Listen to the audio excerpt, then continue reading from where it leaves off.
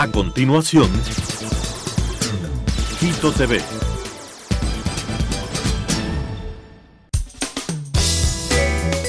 Clasificación A. Apto para todo público.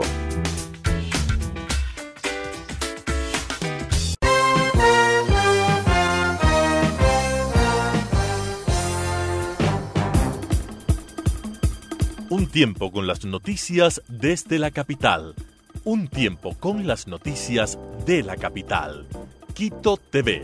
Un tiempo de noticias en Telesucesos, Canal 29.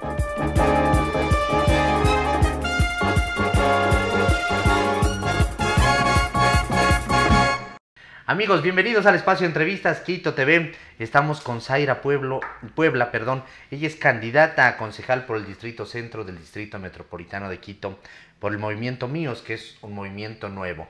Míos, movimiento incluyente de oportunidad social, de oportunidades sociales, ¿es así? De oportunidades y equidad social. Y equidad social. ¿Cómo está? Bienvenida. Bien, muchas gracias. Aquí trabajando para el pueblo y por el pueblo, que procurando tener un Quito mejor. Usted es Puebla y trabaja para el, pueblo. Ese, es el lema, entonces. el eslogan. bueno, ¿qué le animó a lanzarse a participar en estas elecciones seccionales del próximo 24 de marzo como candidata a concejal? Siempre he sido una persona que me ha gustado trabajar por la gente y para la gente. Eh, mi juventud y mi niñez vivía en el centro, entonces siempre me he dado cuenta de las necesidades. En la Venezuela y Galápagos. En la Venezuela y Galápagos, sí, al ladito de la Basílica. Ya. Entonces siempre he visto las necesidades que cada uno de nosotros como ciudadanos tenemos. La, ciudad es una ciudad inmensa y tiene un sinnúmero de problemas. En, la zona centro existen los mismos problemas que, se replican en el resto de la ciudad, existen también en la zona del centro. Pero ¿cuáles podemos hablar que son los problemas más puntuales, los, los problemas más grandes que existen en esa área central, donde está el centro histórico además? Yo pienso que lo más importante o los problemas más grandes que tenemos es la inseguridad, el tema que no existe un ordenamiento para lo que son ventas ambulantes, el problema de las personas que viven en la calle, ¿no? De las personas indigentes.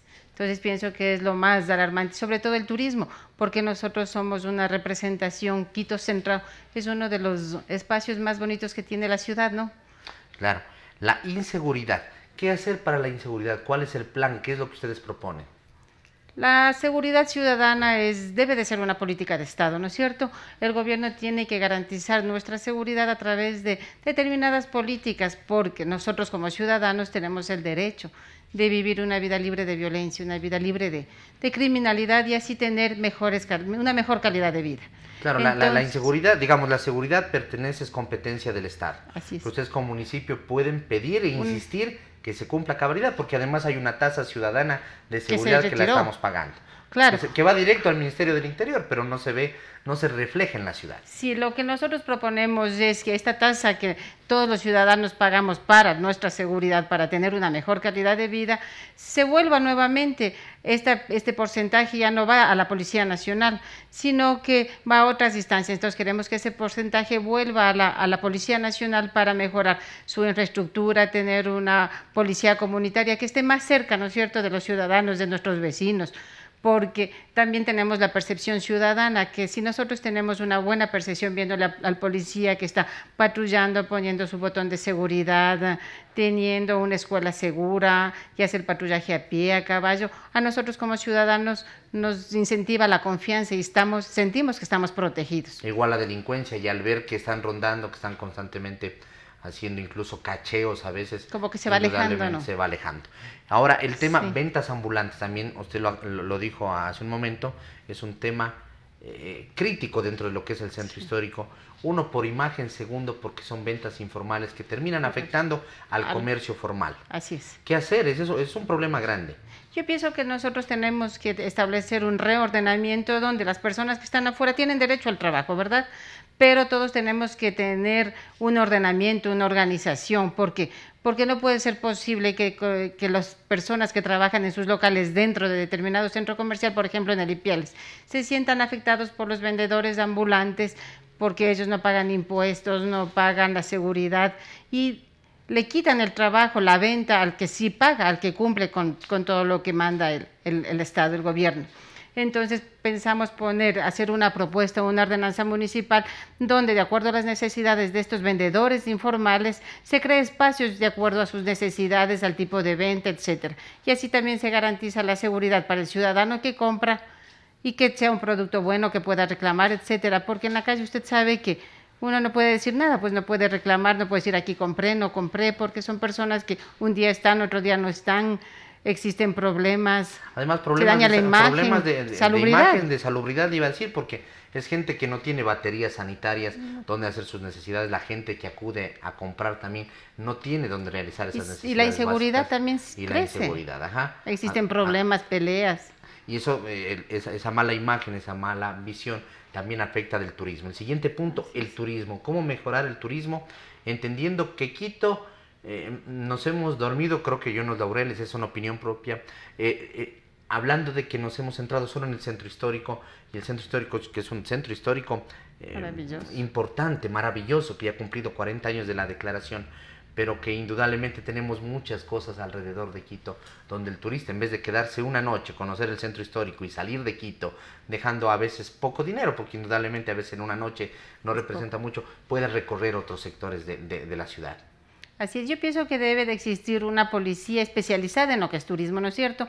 Que al ciudadano que viene extranjero, migrante, le capacite y le informe sobre los sectores que son peligrosos, donde puede andar en la noche, no puede andar, y que esta, este, esta policía, ¿no es cierto?, que está preparada para el turismo, igual tenga otros idiomas, hable, se especialice, porque usted sabe que la educación nos ayuda cada vez a ser mejores. Y de un turismo mal atendido, vendrían a ser como 10 turistas mal atendidos, porque se riega esa publicidad, ¿no es cierto? Entonces, garantizarle al extranjero, al ciudadano, al turista que viene, que disfrute de los días en nuestro, en nuestro Quito. O sea, en el norte, por ejemplo, tenemos la mitad del mundo, en el centro tenemos todo el centro histórico, tenemos igual sitios maravillosos en el sur, el Panecillo, donde este ciudadano extranjero, nuestro turista, tenemos que, nos deja a nosotros divisas, pues nos deja ingresos para nuestro Quito. Entonces, garantizar que este ciudadano tenga información al respecto, que existan esos espacios donde el ciudadano se acerque con toda la confianza, ¿no es cierto? Donde, este, donde esta agencia de turismo le indique los lugares que puede visitar, que estos lugares que son de interés para los extranjeros sean unos, locales que den una buena atención, una buena imagen, que traten bien a nuestro, turismo, a nuestro turista, que es nuestro principal invitado, ¿no? Otro tema que quería preguntarles es el tema vialidad. Y el tema vialidad, eh, visto desde la óptica de que el centro histórico hay muchas calles que se la están peatonizando. Eh, esto se ve bonito, la gente circula eh, peatonalmente, ya no existen los vehículos, el tema de la contaminación, pero hay que entender que el centro histórico es un lugar incluso de tránsito cuando la gente se mueve desde el norte hacia el sur o en sentido contrario. Va a haber una estación del metro en San Francisco que seguramente tendrá una gran afluencia de gente pero creo que el tema de la peatonización hay que eh, revisarlo dentro del asunto de que puede ser por horas simplemente la peatonización, porque indudablemente la gente necesita incluso por trámites a veces llegar al centro y tener sitios donde dejar sus vehículos, porque tampoco existen esos sitios, y luego sí moverse de pronto peatonalmente. Yo pienso en ese sentido que igual se debe de hacer una, un, reordenamiento de acuerdo a las necesidades. Igual no estoy de acuerdo en que sea solamente peatonal, porque, porque cada ciudadano, sea independiente de Quito, de otro país, de otra ciudad, necesita movilizarse dentro de, de Quito. No todas las personas pueden caminar, no todas las personas pueden trasladarse fácilmente, entonces tener unos espacios seguros donde se pueda dejar el vehículo y en determinadas horas este vehículo tenga acceso como era anteriormente, que todos los vehículos transitaban dentro del centro histórico con un ordenamiento donde se establezcan horas, paradas, eh, unos parqueaderos seguros y el ciudadano pueda llegar a cualquier espacio que él necesite para, para su determinada visita, sus trámites personales, etcétera. Habrá que incentivar entonces vía ordenanzas a que se creen esos espacios. Indudablemente los concejales no están en la capacidad ni de ofrecer obras ni de hacerlas cuando lleguen al Consejo, sino es legislar y fiscalizar. Pero a través de la legislación, de la creación de ordenancias, se puede crear, eh, direccionar para que después se realicen obras de infraestructura, en este caso de un servicio como es el tema de los estacionamientos. Así es como concejal, yo pienso que se puede incentivar. Yo necesito incentivar y fiscalizar lo que se está haciendo. Apoyarle al alcalde en todas las decisiones que estén acertadas para que nuestros vecinos, nuestros ciudadanos quiteños tengan una mejor calidad de vida. Y de igual manera fiscalizar, ver si todos los proyectos que se ejecutan estén dentro de la normativa, dentro de la ley, de la regla. Entonces, principalmente es fiscalizar y legislar. ¿Para qué? Para tener una alcaldía eficiente, donde el objetivo se cumpla a través de las metas que se van proponiendo el día a día, ¿no es cierto? Estábamos, estábamos nosotros hablando y en la entrevista nos hemos centrado al tema del centro histórico, pero realmente el distrito centro es entre el Hospital del Sur al sur, ¿no? Hasta el sector de la Mariana de Jesús al norte. Es decir, es un sector muy diverso, muy amplio. Y los concejales llegan por distritos, pero indudablemente tienen que llegar a trabajar por la ciudad entera. ¿No? Sí. Conociendo, digamos, los problemas de cada sector, pero indudablemente es un trabajo en conjunto. Claro, sí es un trabajo en conjunto porque, porque a través de este trabajo que hacemos en conjunto vamos focalizando las partes que necesita cada distrito, ¿no es cierto? En Quito nosotros tenemos alrededor de 2 millones 100 mil habitantes, en igual porcentaje casi hombres y mujeres. Pero solo, en el, solo en la parte, digamos, del distrito metropolitano, porque por las parroquias eh, rurales, llegamos casi a 3 millones. Sí. Sí, sí, sí. Es muy grande, tenemos las urbanas y las rurales. Entonces, dependiendo de las necesidades de cada, de cada distrito, se están creando igual a, a cada concejal, para que el concejal trabaje también en territorio, dependiendo de las necesidades que tiene cada sector y así armar un trabajo en conjunto. Entonces, básicamente, las necesidades va a ser para todos nuestros ciudadanos de Quito, porque cada quien tiene sus propias necesidades. Ok.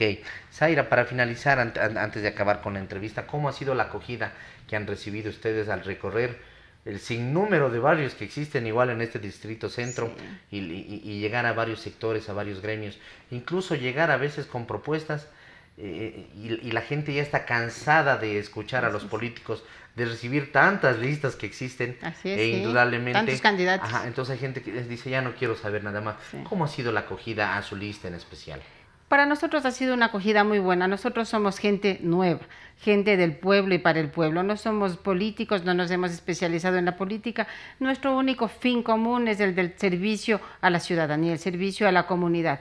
El trabajo público, el servicio público es un servicio que debe de ser eficiente para, nos, para cada uno de los ciudadanos, ¿no es cierto? Entonces el propio ciudadano reconoce que somos personas nuevas y que queremos trabajar por nuestro Quito, que queremos un Quito mejor, un Quito que tenga seguridad, que nos brinde garantías, que se cumpla, que cada uno tengamos una buena calidad de vida y por ende con una buena calidad de vida todos vamos a vivir mejor, pues vamos a recomendar nuestro, nuestro maravilloso Quito. Perfecto. Zaira, usted tiene dos hijos, David y Zairita. Sí. Sí, sí, sí. Bueno, usted es nacida aquí en Quito, vivió aquí en Quito, vivió en el centro, digamos, vive aquí en Quito y vivió en el centro. Sí, sí, sí. Para mí el centro de Quito es un centro maravilloso. Pienso que es uno de los mejores que, que existen en Latinoamérica. Las iglesias, sus paradas, ah, la venta de los sándwiches, cosas así. Y mis hijos igual les gusta, a nosotros nos, nos encanta nuestro, nuestro maravilloso Quito, sobre todo el centro que es digno de, de elogiar licenciada en Contabilidad y Auditoría, contadora pública autorizada, máster en Auditoría y Finanzas. Queremos agradecerles, Zaira, por haber estado aquí y mucha suerte en esta contienda electoral. Muchas gracias y esperemos que los ciudadanos apoyen nuestra lista. Es una lista con cambios, con propuestas nuevas. Queremos lo mejor para nuestra, nuestra gente, para nuestros quiteños maravillosos. Ok, muchas gracias. Muy amable, muchas gracias. Amigos, Zaira Giovanna Puebla, candidata a concejal por el Distrito Centro por el movimiento Míos, incluyente, oportunidad y equidad social, listas 113. Gracias. Muy amable, gracias. Amigos, volvemos en un momento. Gracias. Regresamos con más de Quito TV. De repente se acercó y me besó. Fue un impulso. Solo lo abracé, le di un beso en los labios. ¿Y corrí? Porque yo tenía entonces 20 años y no pensaba casarme en ese tiempo. Le pedí su teléfono y no quiso darme. Creo que yo le gusté primero, seguro, ya que... Es un ángel. La conocí en una tienda. Fue en una clase donde la conocí. Y me dijo, tengo la mujer perfecta para ti. Y él sabía bailar, pero no muy bien. Era mi media naranja. Es mi reina, pero yo soy el rey. Le dije, te quiero preguntar algo y ella dijo, ¿qué? Y de rodillas, yo... La vi reírse y temblar. Está muy apenada. No sé si dije, ¿te casas conmigo o quieres ser mi esposa? Quieres ser mi esposa. Se me declaró en mi cumpleaños. Y ella dijo, sí. ¿Estás seguro? Perdón.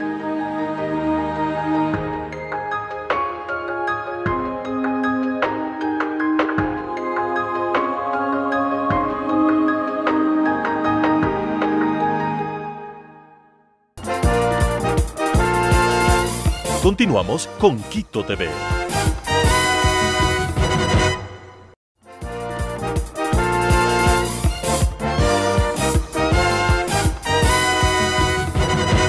Amigos, de vuelta aquí en el espacio de entrevista estamos con José Vázquez, doctor, abogado. Abogado es usted, ¿no? Sí, Bienvenido. claro, a las órdenes. Él es candidato a alcalde por ADE Lista 71. Eh, doctor, le recibimos bienvenido a este espacio. Muchas gracias por la invitación. Les Bueno. agradezco nos den estas oportunidades. ¿Cómo se ha desarrollado esa campaña electoral? Le ¿Cómo diría- se está desarrollando? Le diría que bien por nuestra parte, pero con la cantidad de candidatos y las personas que no quieren debatir, hace que esta campaña tenga una cuestión un poco difícil de, de- de definir cuando hay un 70% o 60% de indecisos. Entonces, pero hemos trabajado como creemos que hay que trabajar con los sectores populares y resolviendo sus problemas, acompañando a resolver sus problemas. Ese 60% de indecisos seguramente determinarán quién es el próximo alcalde de. Exactamente, yo creo que nada está dicho hasta este momento. Correcto. Eh, le contaba, eh, justo tra- tras cámaras, yo venía desde el sector de Calderón y venía un rótulo grande de la propaganda de su campaña, en la cual hablaba sobre el tema de tener tranquilidad en el hogar a través de tener escrituras de cada una de las viviendas. ¿En qué consiste esta propuesta? Usted ha trabajado durante años en sectores populares, sectores eh, que a veces se dieron fruto de invasiones de, de gente que traficó con tierras y que también ha tocado irles legalizando, porque indudablemente esa gente no tuvo la culpa, sino que entregó un dinero a personas que no eran dueños de esos terrenos, etcétera, etcétera. Claro que sí, y esto nace desde, la, desde, la, desde el poder público. Los- el municipio de Quito ha permitido hacer porque muchos de ellos estaban vinculados a los sectores políticos que estaban en esa administración y ellos permitieron hacer eso. traficantes de tierras. estos traficantes de tierras. Eran, muchos eran concejales. Marco Tulio Crespo, por ejemplo, en Santa Rosa 1, 2 y 3 de, de Chilio Gallo, él era concejal y lotizó y ni siquiera la tierra estaba a nombre de él. O Carlos Rodríguez Paredes cuando hizo la cooperativa del pueblo donde tenía cinco asentamientos, que eran Lecarretas, La Bota, Cárcel en Bajo o Balcón del Valle, que es ahora, que era en Puengasí. Esos formaban 13 mil socios que tenían y no tenían legalizado sus tierras y no podían legalizarle porque, como usted conoce, el tema no respetan la normatividad vigente para una urbanización y el municipio le pone trabas y no les legalizaban. Pero ¿qué hacíamos ahí? O les, le- o les dejamos que sigan siendo presionados por esta gente o le damos la tranquilidad de darle una escritura pública. Hoy día puedo decirle que hay alrededor de unos 800 asentamientos en Quito y sus parroquias que no tienen escrituras públicas individuales. 800 asentamientos. 800 asentamientos. Y eso estamos hablando de, de- de- cuánta gente, de cuántas viviendas. Yo no le podría calcular aquello, pero son eh, barrios enteros. Le pongo, por ejemplo, aquí La Paz del Condado o, a tu- o a- al sector se llama Cucho Hacienda, que es junto a la Roldós. Ahí son 770 lotes que no tienen escrituras públicas. ¿Cuántos? 800. Se- 770 En uno solo de los En uno asentamientos solo de los- 800. Sí, uno solo de los 800 tiene 770 lotes. O, el, o lo que es la cooperativa Pablo Arturo Suárez, ahí son 380 lotes. Y le enumeraría los 800. Solo en Calderón tenemos más de 100 asentamientos que no tienen escrituras públicas y tampoco les han podido legalizar.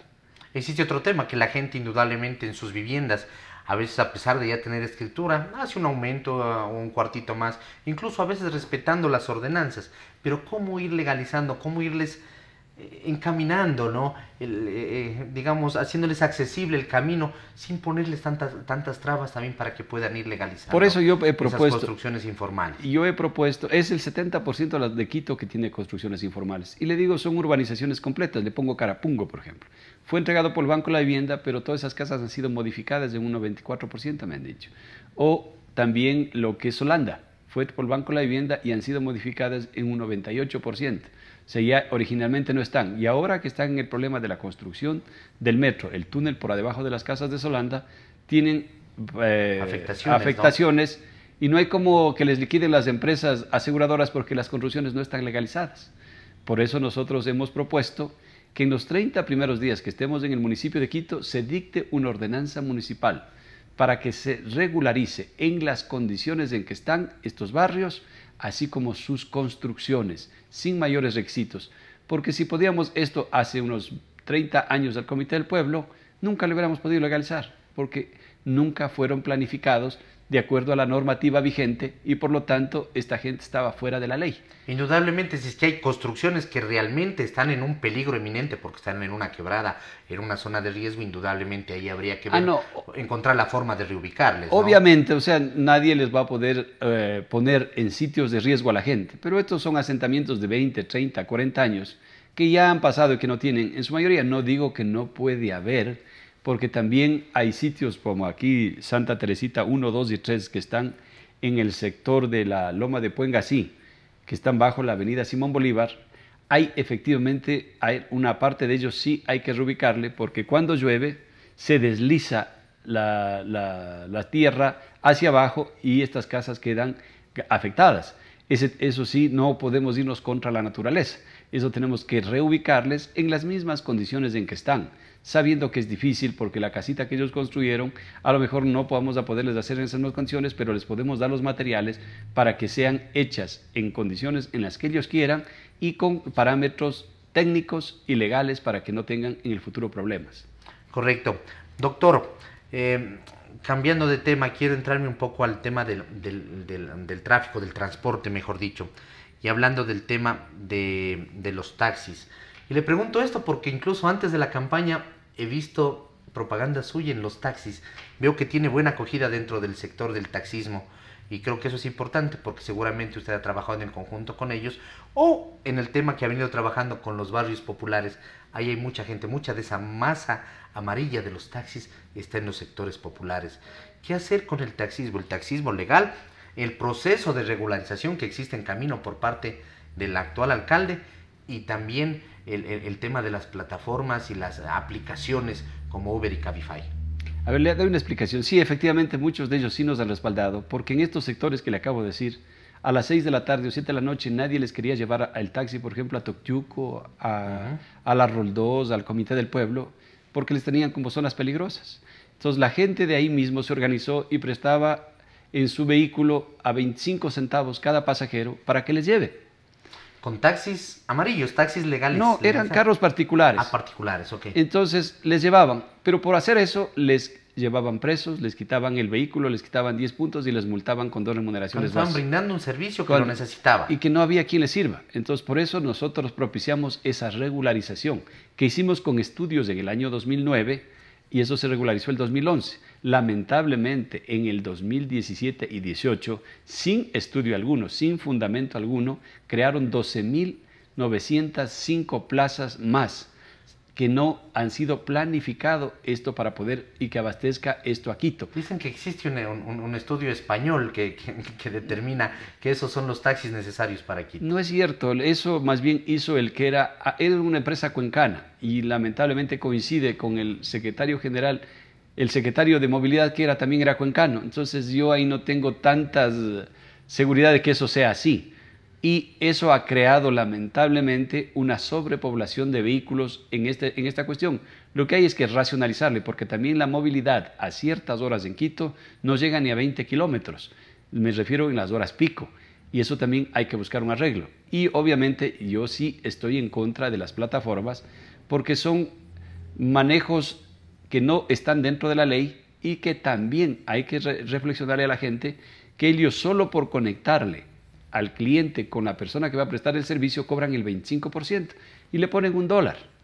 Ellos sin hacer nada tienen 25 centavos y 75 el que presta el trabajo que tiene que de ahí sacar el mantenimiento del carro, su salario y el, y lo que, y la- y la- y el cambio es decir, de carro. cuando nos aparece en una de estas carreras dos dólares, sabemos que 50 Centavos es de ellos.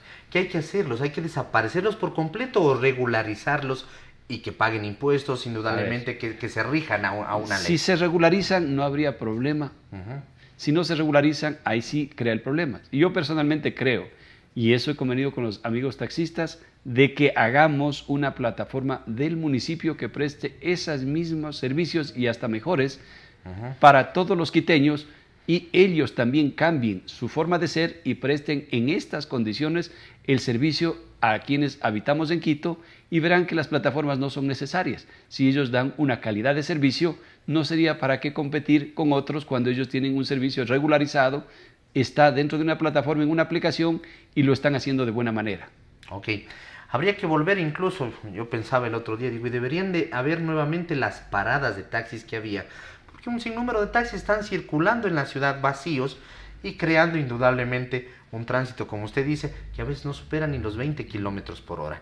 Antes había y uno decía, mira aquí, a tres cuadras tienes la parada, ahí están todos los taxis, uno bajaba, caminaba esas tres cuadritas, pero estaban ahí parados, además que eso es menos contaminante también. No sé si eso sea una de las propuestas también. Habría que, eh, yo, a ver, lo que ya está hecho, hay que hacer una planificación y manejarlo, porque tampoco podemos mandarles a la casa a los que están. Entonces tenemos que darle una salida técnica y legal para que ellos puedan desempeñarse. Y yo estoy de acuerdo con usted, porque muchas de estas eh, paradas nos, nos ayudan a que no haya tanto carro circulando y eso nos ayuda a aliviar el tránsito lamentablemente por estas condiciones que se ha puesto por parte del municipio, hace que la gente tenga que coger esta línea. Y por eso se ha hecho. Hay que darles facilidades. Por eso hay que poner una persona que sea más bien, que ayude a solucionar y no un verdugo para que ponga a perseguir a esta gente. Incluso llamábamos a, las, a los teléfonos que existían en cada una de las paradas, ya, mándeme un taxi a este sitio, si es que no teníamos la posibilidad. Exacto, y, se hacía, y se hace bien. Ahora incluso con la modernidad, con una aplicación usted solo le pone la, el, lugar donde está y en, segundos va el taxi para allá. Es cuestión de amalgamar la tecnología con la necesidad y eso se soluciona cuando hay voluntad política. ¿Usted tiene em, un estudio, una referencia de cuántos realmente son los taxis que se necesitan en Quito? A ver, no han hecho una cuestión técnica, pero en mi tiempo, hasta donde soy, yo llegué hasta el año 2011, lo que necesitábamos en Quito era más o menos 13.500 taxis. Eso era la solución. No creo que desde el 2011 al 2019 sean necesarios 29 mil, que es los que hay en este rato. 29 mil entre, entre los que, legales y los que legales, los de las plataformas. 29 mil más o menos me dicen que hay en este rato. Es un número bastante, bastante grande. Claro. Servicios básicos que hacer usted también en estas, en estas, eh, en estos terrenos, en estos lotes donde ayudó a legalizar, eh, había que dotarles de servicios básicos.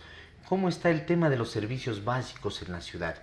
Se habla de que tenemos una cobertura casi del 100% en agua potable, pero al mínimo problema, al mínimo eh, eh, tapón de los afluentes, que cuando se taponan los afluentes, se queda todo el sur de Quito sin agua, todo el centro sin agua o todo el norte sin agua. Y no existe esa capacidad de abrir una llave y cerrar otra y poder el agua que existe en el norte de Quito hacerla hacia el sur. ¿Qué hacer en el tema de los servicios básicos? A ver, Primero que lo mismo, no se le ha planificado a Quito a corto, a mediano y largo plazo. Y damos soluciones, cada alcalde y cada administración viene a darnos unas soluciones parches y no definitivas. Yo debo decirle que hay discrepo en el que el 100% esté servido de agua potable. A estos barrios que le digo, por no ser regularizados, no les dan los servicios pero no es que está cubierto el 100% la cobertura. Y lo mismo de agua potable y lo mismo de energía eléctrica y lo mismo de vías. O sea, no es tan así. Es bueno decir, todos los que están bajo mi control están con ese, con ese tanto por ciento. Más rápido seguramente llega el internet y la telefonía celular a esos barrios que... Tienen telefonía celular, tienen eh, cable, pero no tienen el, servicio de agua potable y energía eléctrica. Y energía eléctrica. Eso es lo, lo grave. Hay que, veces que se llevan dos, tres kilómetros y casi a la luz llega, cuando se prenden en horas pico ya no se ve la luz. Ese es lo grave, eh, vivir tan cerca de Quito y con tantas dificultades. Hay que dar las facilidades y regularizarles en las condiciones en que están y darles todos los servicios básicos. Doctor, nos hemos quedado cortos de tiempo, pero creo que algo hemos escuchado de su propuesta, pero seguramente existe alguna página web o alguna página de Facebook donde la gente puede entrar y conocer el sinnúmero de soluciones que usted plantea el sinnúmero de problemas que existen en la capital. ¿Cuál es la página de Facebook? ¿Cómo está? La mía está como José Vázquez ADE. ADE, José Vázquez ADE. Entonces la gente puede entrar en Facebook y conocer más de su propuesta. Claro es una alternativa más de las 18 que están postulando para la alcaldía de Quito. Claro que sí, yo creo que los 17 pertenecen al pasado, a los partidos tradicionales. Nuestra opción nació de la gente que justo anda en estos problemas y quiere regularizarles. Por eso hemos dado un paso adelante. No nunca he sido candidato, ni los que están en mi lista han sido candidatos a nada. Por primera vez, por buscar soluciones a este tipo de problemas, hemos acompañado y hemos prestado nuestro contingente para esta contienda. a esta contienda, que es desigual, porque Mientras los unos tienen mucho dinero, nosotros, y no nos ha disgustado, hemos caminado por donde que siempre hemos caminado los últimos 35 años. David contra Goliat, entonces. Es David contra Goliat. Doctor, muy gentil por haber estado aquí. Muy amable, muchas gracias por orden. invitarme. Amigos, ha sido el doctor José Vázquez, candidato a alcalde por A de lista 71, hablando de su propuesta. Le pueden ver en la página de Facebook que es José Vázquez ADE, ADE, ¿no? sí. Así, ahí pueden conocer más de la propuesta, como dijimos, al sinnúmero de problemas, las soluciones que plantea el sinnúmero de problemas que existen aquí en la capital. Amigos, que pasen bien, hasta la próxima, felicidades.